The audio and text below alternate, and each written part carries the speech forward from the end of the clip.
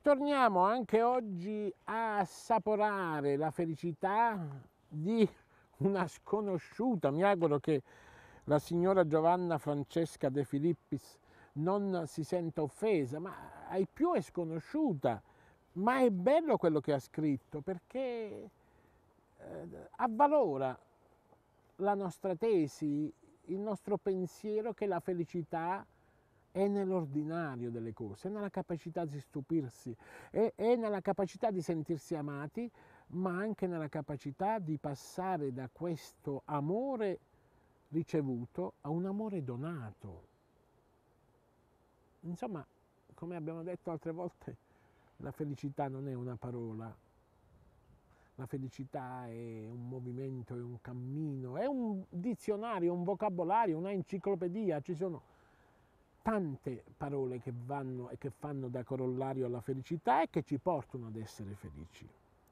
Ma oggi vorrei soffermarmi su appunto sul peccato come via alla felicità.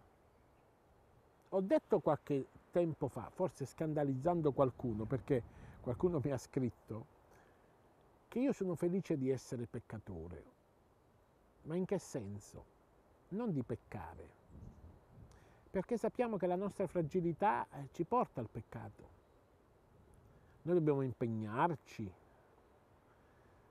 non tanto a non peccare, perché prima o poi pecchiamo tutti, pecchiamo sempre, ma a riconoscerci peccatori e a sentire nel peccato non il peso del peccato, ma l'abbraccio che Dio mi dà al solo mio pensare al pentimento, all'abbraccio, al camminare suo di Dio verso di me, anche quando io solo esprimo o sento nel cuore il desiderio di, di pentirmi e di tornare a casa tornerei a casa da mio padre.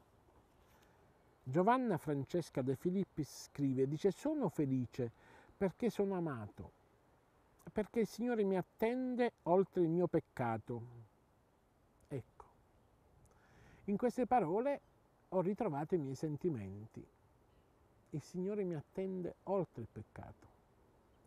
Il Signore sa bene che se io voglio lui è pronto non solo ad attendermi, ma a venirmi incontro, a rialzarmi tutte le volte che cado per il peccato. E potrò cadere altre mille volte, dice la nostra Giovanna Francesca De Filippis, mille volte incontrerò il suo sguardo innamorato, mille volte cadrò, mille volte peccherò, e lo sguardo di Dio è sempre lo sguardo dell'innamorato.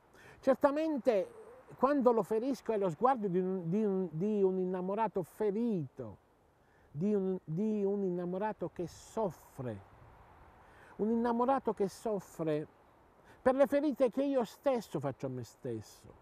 Guardate, quando uno ama, la infelicità, il dolore più grande, sapete da dove viene? Dal vedere la persona che si ama distruggersi dal vedere la persona che si ama infelice. Noi umani risentiamo del, dei tradimenti, cioè ci sentiamo feriti, ma io credo che Dio, pur sentendosi ferito dai nostri tra tradimenti, Lui sa andare oltre, questo sguardo profondo che va oltre il mio peccato, questo sguardo che sa vedere nel mio peccato comunque la possibilità di salvarmi. Ci vediamo domani Padre Pio TV, dritto al cuore. Ciao a tutti!